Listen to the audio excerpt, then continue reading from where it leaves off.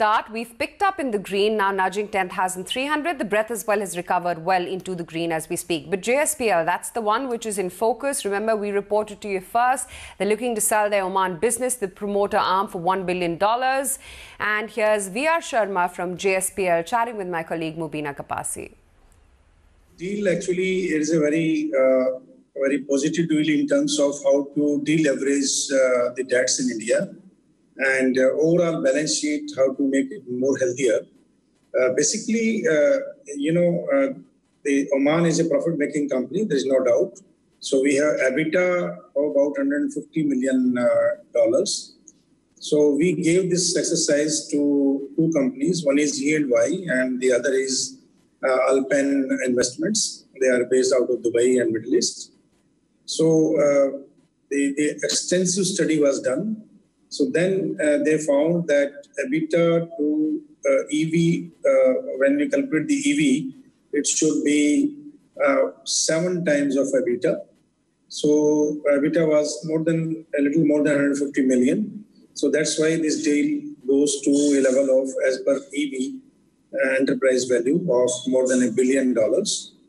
And uh, there were many bidders out of that, they shortlisted three, the three top bidders.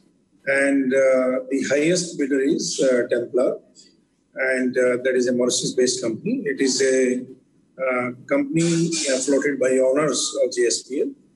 Uh, so now, subject to the approval from board, subject to approval from shareholders, subject to approval from the lenders in Oman, so this deal will be through. Now, of course, most important debt reduction. I mean, that's the purpose as well of this deal. The purpose is I to reduce. Yeah, the purpose is to reduce yes. the debt in, uh, from the balance sheet, and uh, so that uh, the Indian lenders uh, are also comfortable. And this is what our uh, commitment was. We have already brought it down to a level of about 34,000 crores.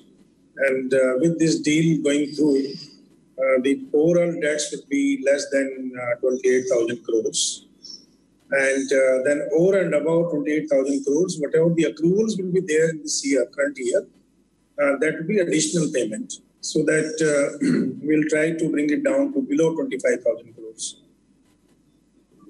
Uh, where will the debt repayment priority be? Because you have overseas debt and you have domestic debt. Uh, and I think uh, Jindal Shadeed itself also has quite a bit of debt. So how will this debt essentially be paid for? You see, uh, the uh, when we make a consolidated balance sheet, so now the Jindal Shadeed will be out of the console balance sheet. so it will be uh, standalone Indian operations only, as far as the steel is concerned.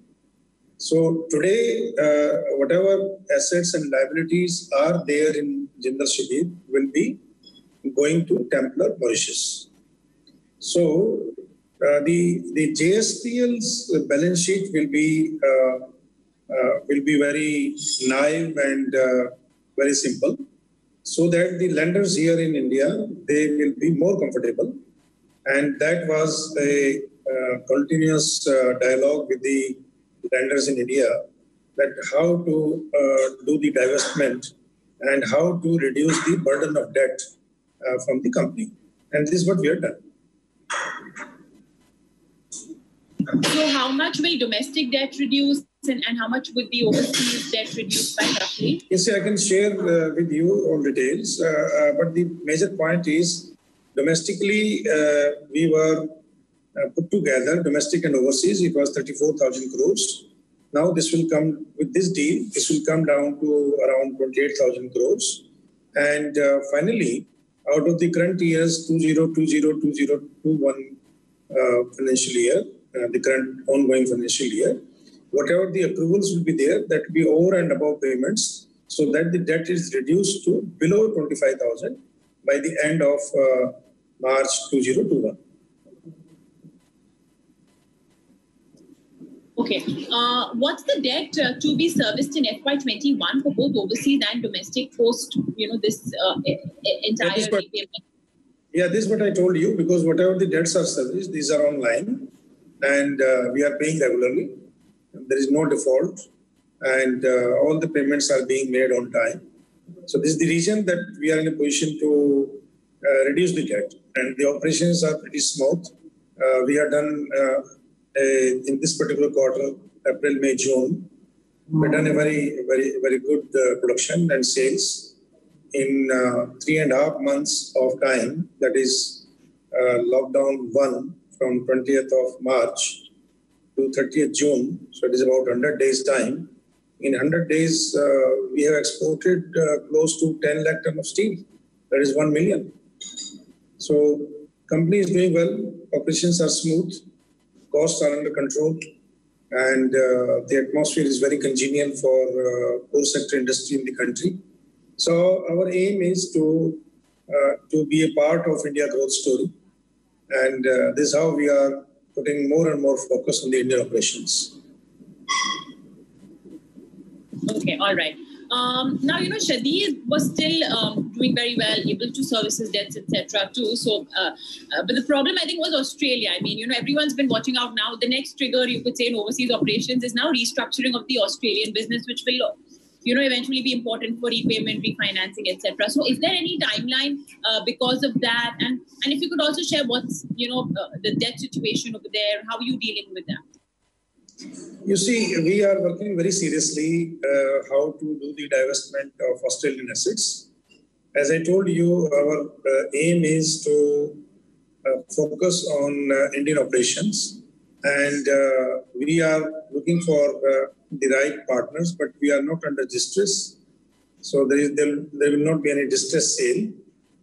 as soon as some right partner comes, either uh, in a joint venture, like for example, 51, 49%, or maybe even more, we can uh, we can divest even up to 70%, 75%.